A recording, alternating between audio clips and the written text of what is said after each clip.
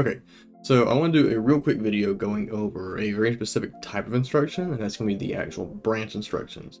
This is the part of assembly where we're not going to go line by line, but start jumping around to different parts of the code. So it's its own different type of instruction, so I just kind of wanted to separate a different video out for it. So let's go ahead and take a look at that real quick. Alright, so like I said, hack assembly generally goes line by line. So it's going to start at zero, go to one, two, three, four, so on and so forth. So just again, iterative process. This only deviates. We do branch instructions, which are typically going to be in an AC pattern, like a lot of them. We load in the instruction one, two, and the assignment instruction, and then this C instruction will be something new we haven't seen before. So without further ado, let's try to get to there. So have the actual program that we write. Bunch of instructions. It's loaded into ROM. A register is tied to both RAM and ROM, so we've been using it to adjust RAM's location and to get finite values, maybe 19, maybe this is right RAM 10 or something, but we also use it to go to very specific instructions in ROM. So like maybe we wanted to go to 5. Well, we can do that. Not too hard. So we have a specific flow of control. Generally, it's not too hard to follow. So we have some 0, 1, 2, 3, 4, starts at 0 all the time. But when we get to 4, so 0, 1, 2, 3, 4, all of a sudden, go to 7. This doesn't have a condition to it, so it's going to be an unconditional branch. So it's going to go down to 7. So flow control now is 7, 8, 9. And this says go to 2. So now it goes to instruction 2. 2, 3, 4, 7, 8, 9, 2, 3, 4. And you can see that we are in an infinite loop because we have unconditional branches that are kind of just looping to each other. 5 and 6, never going to get executed.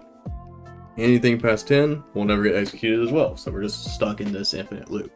So to get around that, we have the idea of conditional branches. So again, flow control, 0, 1, 2, 3, 4, just like last time. When we get here, we now have if condition go to 7. So we have to have some condition. We'll get to what those are in a bit as well.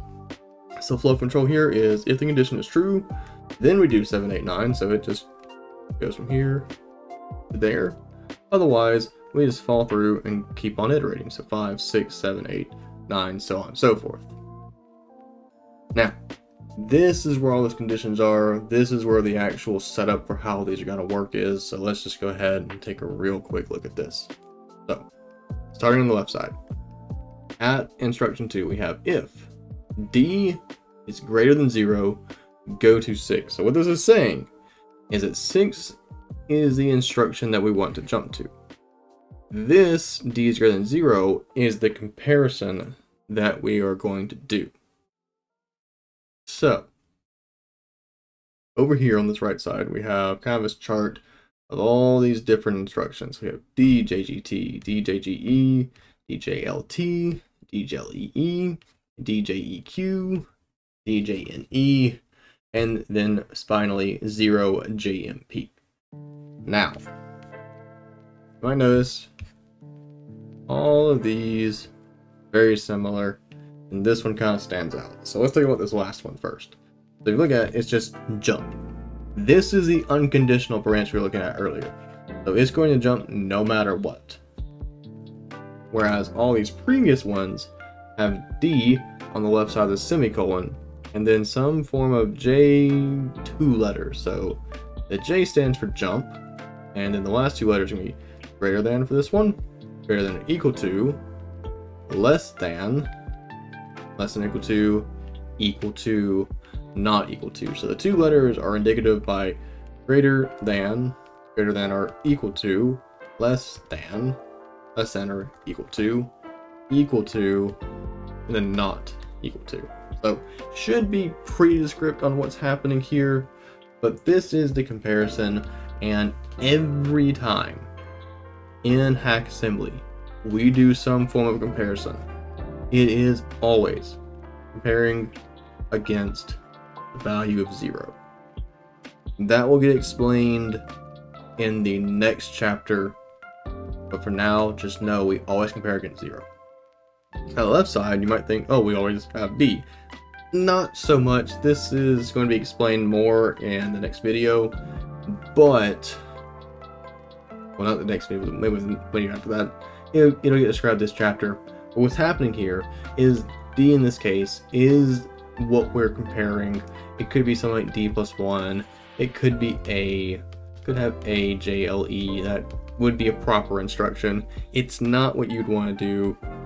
The general approach is to just store whatever value you want to compare in the data register and then do the comparison.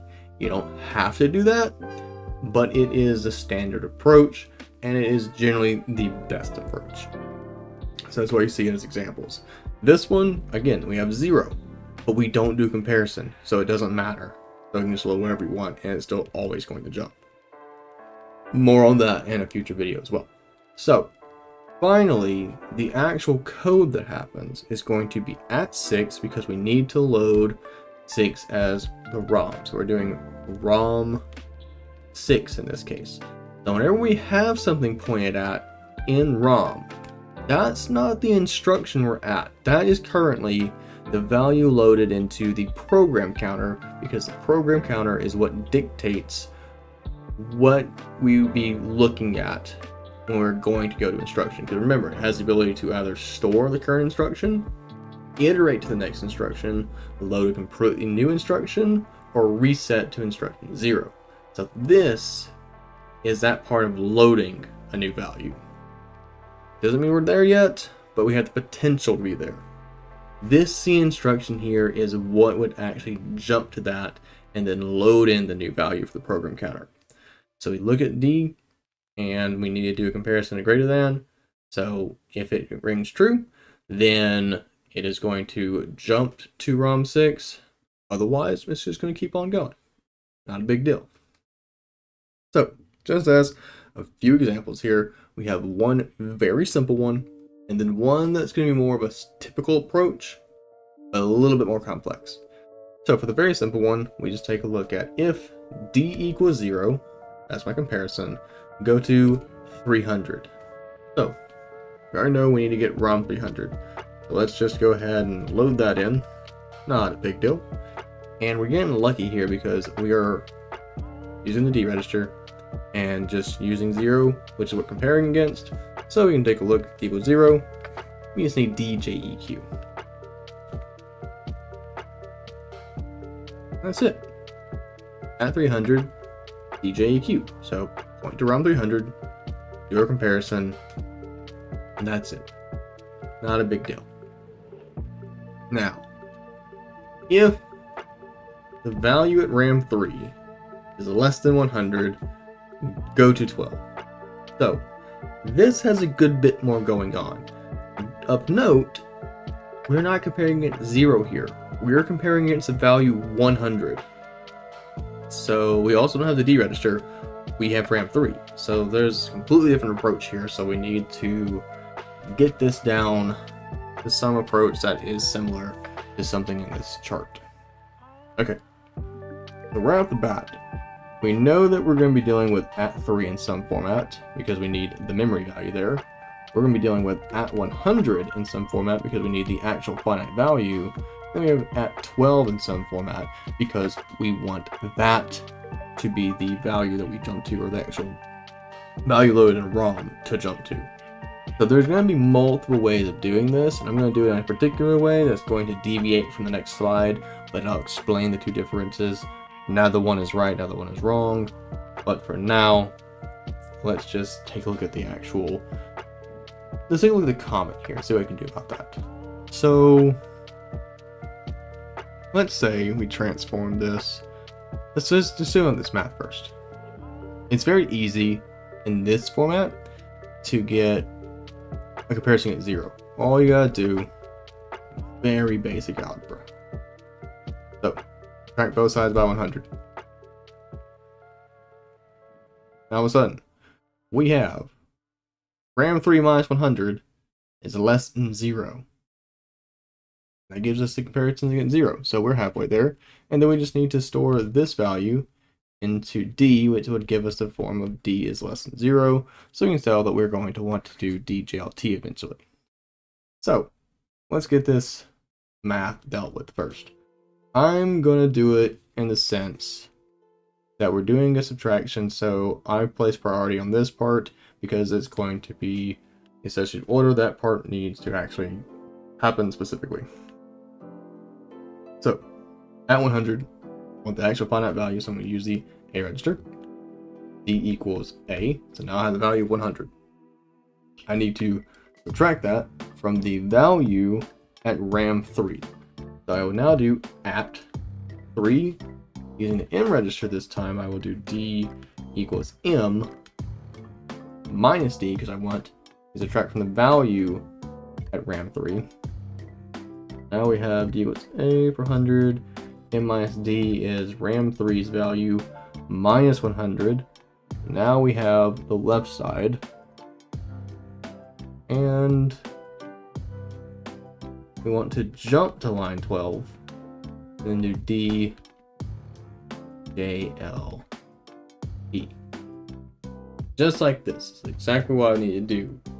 Now, let's take a look at a different way of doing it. This is pretty much the same thing, except for the math to get there is kind of reversed.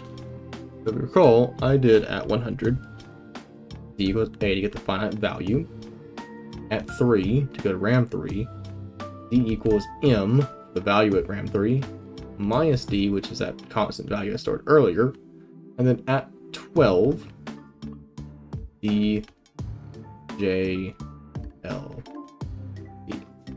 so their comparison is a little bit different. Most of this go to RAM 3 first and then get the constant value. There's no right or wrong approach here. There's no optimal or suboptimal approach here. It is practically the same, just a different approach. And then our actual branch instruction is identical. So, again, neither one of these approaches is wrong. It's just showing the fact that there are multiple ways to achieve the same goal in assembly. Not a big deal. So, that is kind of the idea and gist of how branching works. It's honestly a pretty simple video because there's no point in getting it too much more complicated right now. That last slide where it shows the RAM 3 minus or RAM 3 minus 100 is the approach to solve whenever you don't have a comparison at zero. That's probably the most complicated part of branching. It's not the actual comparison and branch itself, it's the math that precedes it. That is the difficult part when it comes to branching, is to make sure you get the math down correctly. That's about it. Hope you learned something, I'll see you next video.